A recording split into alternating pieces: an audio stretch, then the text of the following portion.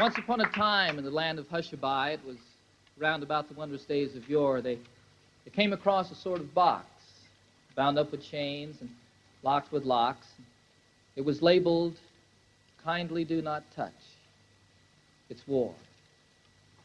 A decree was issued round about, all with a flourish and a shout, and, and a gaily colored mascot tripping lightly on before. Don't fiddle with this deadly box, or break the chains, or pick the locks. And please, don't ever play about with war. Well, the children understood. Children happened to be good.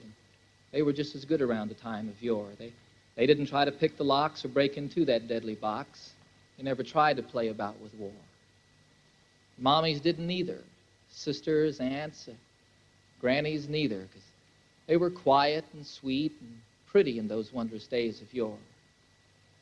Well, very much the same as now.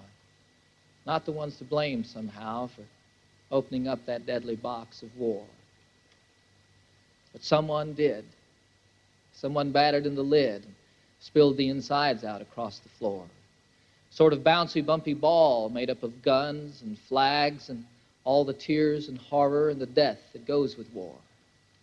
And it bounced right out and, and went bashing all about and bumping into everything in store. And, and what was sad and most unfair is that it didn't really seem to care much who it bumped, or why, or what, or for. Now, bump the children mainly. And I'll tell you this quite plainly.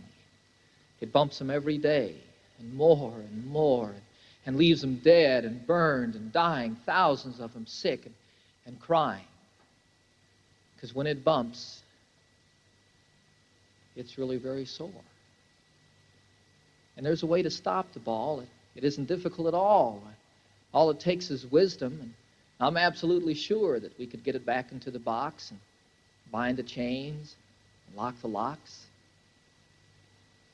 No one seems to want to save the children anymore. Well, that's the way it all appears. Because it's been bouncing around for years and years, and in spite of all the wisdom whiz since those wondrous days of yore. And the time, the time they came across the box, bound up with chains and, and locked with locks, and labeled kindly do not touch.